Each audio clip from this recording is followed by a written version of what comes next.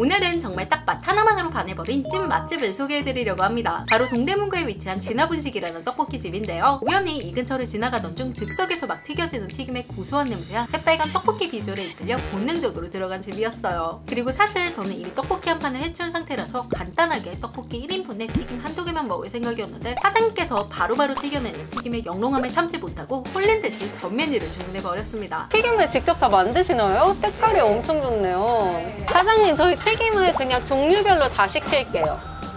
네, 너무 맛있어 보여가지고 뭘못 고르겠네요. 그리고 어묵 역시도 비주얼이 남달랐는데 종류도 다양해서 행복한 고민을 하게 만들더라고요. 저는 도무지 한 개만 선택할 수 없어서 치즈, 오징어, 매콤 꼬부리 어묵까지 세 가지나 주문했습니다.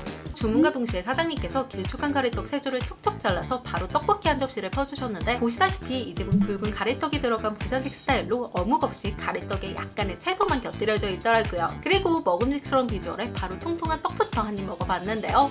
음, 와, 떡이 진짜 맛있는데요? 떡이 엄청 부들부들 쫀득쫀득해요. 이 집은 정말 떡 식감이 another level이더라고요. 호불호 나뉘는 가래떡 특유의 단단 질깃한 식감이 아니라 입에 쫙쫙 달라붙는 말랑쫀득한 식감으로 밀떡파도 인정할 수밖에 없는 맛이라고 말할 수 있습니다. 그리고 밀도가 높아서 양념이 잘 배이지 않는 두꺼운 가래떡임에도 양념이 잘 배어있는 편이라 떡만 먹어도 간이 딱 좋더라고요. 그리고 부산식 가래떡볶이라고 하면 대체로 고추장 베이스의 양념으로 맛이 강하고 텁텁한 느낌이 있는데 이집 떡볶이는 고춧가루 베이스의 양념으로 깔끔한 맛과 은은한 단맛의 조화가 기분 좋게 느껴지더라고요. 개인적으로는 풋내 없이 잘 숙성된 고춧가루 베이스 특유의 깔끔함이 제 취향 저격이라서 종종 찾아올 것 같다는 생각이 들었습니다. 때문에 평소 저와 입맛이 비슷하다고 느끼시는 분들에게는 한 번쯤 추천드리고 싶어요.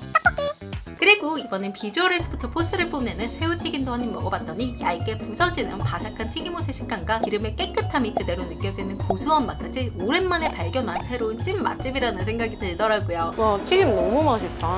아니, 튀김을 먹는데 이 튀김옷에 결이 살아있어서 씹을 때도 치아에서 그 결이 다 하나하나 느껴져요. 와, 너무 고소하고 맛있는데요? 근래 먹었던 튀김 중에 제일 맛있는 것 같아요. 그리고 특히 고추튀김과 김말이 튀김이 인상적이라고 느껴졌는데 일단 김말이 비주얼부터 보시면 당면이 아주 그득그득 꽉꽉 차들어 있더라고요. 여러분, 이거 터질 것처럼 튀어나온 당면 보이시나요? 정말 먹자마자 탱글탱글한 당면의 존재감이 입안 가득 느껴지는데 촉촉한 당면과 바삭한 튀김옷이 만나 겉바속촉의 정석을 보여주더라고요. 그리고 사장님 만의 노하우가 그득하게 담긴 고추튀김은 소의 두부, 당면, 갖은 채소들이 들어있어 담백하면서도 깔끔하고 또 후추의 매콤함까지 더해져 느끼함 없이 끝까지 맛있게 먹을 수 있었습니다. 또 튀김을 떡볶이에 곁들여 먹어도 떡볶이 양념이 튀김 맛을 잡아먹지 않아서 두 조화가 좋다라고 느껴졌는데 나중에 듣고 보니 사장님께서 일부러 이 조합을 고려하여 떡볶이 간을 약간 낮추셨다고 하시더라고요. 덕분에 이렇게 먹어도 저렇게 먹어도 맛있게 즐길 수 있었고 또 개인적으로는 튀김과 떡볶이 개별의 맛이 너무 좋았기에 같이 먹기 전에 꼭 단 독으로 먼저 드셔보시는 걸 추천드립니다.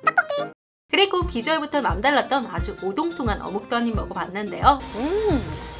얘는 일반 그런 500원짜리 어묵이 아니라 고급 어묵입니다, 여러분. 한 입만 먹어도 어육 함유량이 높다는 게 느껴지고 밀가루 맛이 없어요. 밀가루가 안 들어갔어요. 그래. 아예 안 들어갔어요? 아예 안 밀가루가. 어쩐지. 찹쌀가루만 좀 들어가서 어.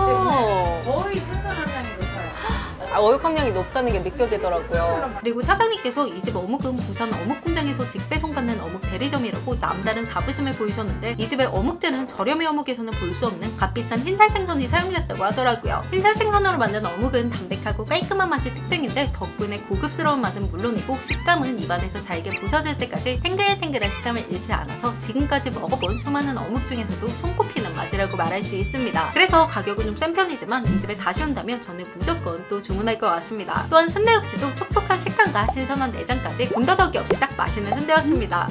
자 이렇게 오늘 소개해드린 진화 분식은 서울에서 맛볼 수 있는 고춧가루 베이스의 부산식 가래떡볶이집으로 전 메뉴 모두 평균 이상의 퀄리티로 깔끔한 맛의 떡볶이가 땡길 때 한 번쯤 방문해보셔도 좋을 것 같습니다. 그럼 오늘 영상은 여기까지였고 여러분들도 한 입에 반한 떡볶이 맛집이 있다면 댓글로 많이 많이 남겨주세요. 안녕